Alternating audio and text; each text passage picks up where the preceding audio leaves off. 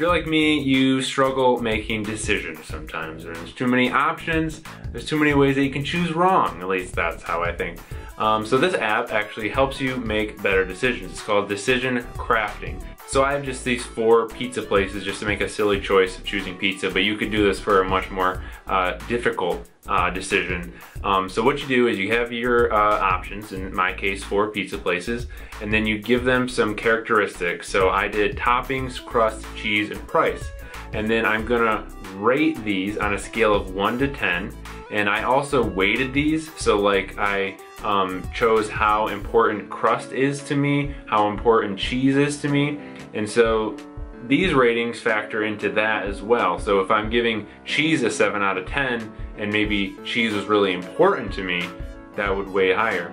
So I do this for all four, tap the check mark, and then it's basically gonna make the decision for me. So in my case, Jets is where I should get pizza. Um, but obviously you could do something much more complicated like where to go to college or what to do about a job, things like that. Instagram recently made it possible to upload multiple images to the same post as a gallery. And one of the cool things you can do with that is upload a panorama. This app called InstaSwipe does it for you. So all you're gonna do is you're gonna open up a panorama I have this panorama of a bowling alley here, and you can choose how many images you want it to be cut up into. So if I do two to one, you can see that is a better use of space than if I have a three by one. So I'm gonna do two by one.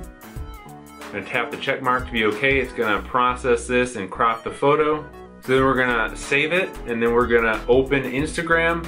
And now I just wanna make a post, and I'm gonna choose multiple from my gallery. And now when I swipe through here, Oops, I put them in the wrong. I put them in the wrong. I put them in the wrong order. Um, but the idea is if I put them in the right order, uh, they would be seamlessly connected and I would be able to scroll through it like a real panorama. There are a million note-taking apps in the Play Store, so why not another one? Uh, this one's called Notely, and the cool thing about this one is you can take notes in three different ways. You can do a simple text note, you can do an audio voice note, or you can even do a video note. And all of these notes you can add hashtags to to find easily. So I have a few that I've made up here. So buy groceries, I tagged food. And if I tab the food, it's gonna show me all the uh, notes that I made under that tag. Uh, and then you can also separate it by the type. So here's all the text notes, here's all my audio notes, here's all my video notes. Um, but other than that, it's just a simple note-taking app. If that's something you're interested in, this is a nice one to check out. Netflix has a huge library of content now, and that's great, but it can be hard to find something to watch sometimes, especially if you're not in the mood for something specific, like a specific movie that you're looking for, you just want to browse for something. An app called Upflix has a cool tool to help you find stuff. So first and foremost though, it shows you um, what's new in Netflix and what's expiring so that you can watch stuff before it leaves and you can see what's new. Um, but the really neat thing is you tap this little button in the bottom and this is called the roulette wheel. And so let's select a genre. Let's say I'm in the mood for a comedy. And then you can choose a rating. So anything uh, above a three rating on Netflix, a four rating on IMDb, and a 70 on Rotten Tomatoes. Then we're gonna spin the wheel and Slums of Beverly Hills is what it comes up with. And so I can read about that movie, and if I want to play it, just tap the play button, and it's going to open right into the Netflix app. So this is a really cool app for finding great stuff to watch on Netflix. Have you ever been driving somewhere and you don't know what the speed limit is and you can't find any speed limit signs? Velociraptor is an app that overlays the posted speed and your current speed over the top of whatever maps app you're using. So I'm using Google Maps, uh, but also works with Waze, pretty much any other app that you want. Uh, and it shows the posted speed, your speed limit, and it can even give you a warning if you are going faster than the speed limit. The app is free and it works pretty cool. There's a subreddit on Reddit called writing prompts and basically what it is is people will like pitch an idea for a story basically and then other redditors will come along and finish the story. They'll write short stories about it. Writing Prompts is an app that lets you read those stories. It's a really cool reader. So you can see here, these are the, the prompts. So these are like the premise of the story. And so we go into one of these um, we have the prompt at the top of the screen, and underneath are all the stories that people have written based on that prompt. So tap into one, And a cool thing that it does is as you tap, it reveals parts of the story. So we tap once, next line. Tap again, next line. And so you can read the story kind of like one paragraph at a time. Uh, if you want, you can just long press and it'll hold this whole story. Um, but then you can swipe to the right to see a next one. So if you like reading short stories, uh, this is a really cool app. Tons of short stories in here to read. So most Android keyboards have some type of spell check or autocorrect built in, um, but sometimes it doesn't work as well as you want it to. Autocorrect especially can be super annoying sometimes. Uh, an app called GrammarPal adds built-in spell check to whatever app you're using, whatever keyboard you're using. Here's a note that I made in Google Keep. And if I tap into here to bring up the keyboard, you can see this little floating green bubble. And I tap that, it's gonna spell check everything that I have typed in the text box. And then it shows two errors here, so I tap that. And now I can copy it, or I can go back to the app. And if I copy it, it's gonna work just like you would expect. Long press, paste, there we go. Or I could just go into it and make the corrections myself. The cool thing about it is it works in any app that you're using and there are some settings here so you can um, change what app the uh, floating button pops up so maybe there's like a text messaging app that you don't need it for. Um, you can adjust the language, you can change the theme or you can have some ignored rules for things that maybe you don't want it to be correct. Status is an aptly named app that allows you to customize the look of the status bar without root. And it looks a little wonky here on my phone because I have Android O. Um, but once I turn it on, you can see that it turned red and blue. That's because I have the default status bar color to red, but you could change it to something like purple. There we go. Um, and you can change how the icons appear. So I have them with blue. Let's go in the opposite direction go red. And so there we go. You can adjust a lot of these things. So you could make the status bar change color depending on what app you're using. You can also adjust the color of all the icons. Um, specific apps could show up as different colors. There's a ton of different customization that you can do in this app and it works great without root, which is really cool and it's free. Unconnectify is an app that allows you to schedule when certain system things will turn on or off like Wi-Fi or Bluetooth. So maybe every day at a certain time you want your Wi-Fi to turn off and at a certain time to turn back on. You do the same for Bluetooth. I don't know why you would do that, but you can do it. And so all you do is you select a time. So let's do 153, okay.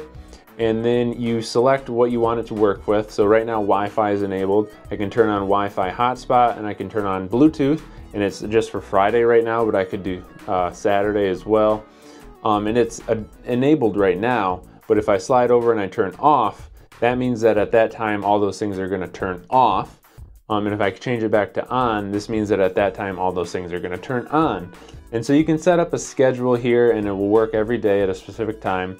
Pretty cool. Um, once again, not sure why you would need it, but if you're someone who wants something like this, this is a good app to do. It's almost impossible to read Wikipedia and not get sent down a wormhole of just random articles that are all linked together. This game takes that into advantage. So the idea is you start with a Wikipedia page and I have to see how many steps it can take to get to a different Wikipedia page. So I'm going to start with lentil here and I have to get to Lao, which is a country. Tap play. And it's just going to display the full Wikipedia page as I would see on the web and it's my choice to see where I should go to get to the target word. Now it can take a while so I'm not going to show you this um, but as an example previously I started with kale and I had to get to apricot and it took me seven steps. So you just once you you know you tap on a page now it takes me here that's one step uh, you can open up all these things go here that's two steps you get the idea so uh, you can learn while you're playing this game because you can read the Wikipedia articles um, and see how good you are at using Wikipedia. Papery Planes is just a simple, endless uh, flyer game, I guess you would call it. Um, all you're to do is just go left and right through these obstacles. You're flying over a river. You have to go through uh, like rocky tunnels like that and collect these coins. And these coins can be used to upgrade your plane to make it better and better. I didn't do very well there. My best is 206. Um, but it's just a, a, simple premise. You've probably played games like this. It has a really cool low poly design. It's a minimalist UI and it's easy to play. Takes up some time if you need to kill a few minutes and it's free. Jelly Inc. is a one-touch platformer retro style game.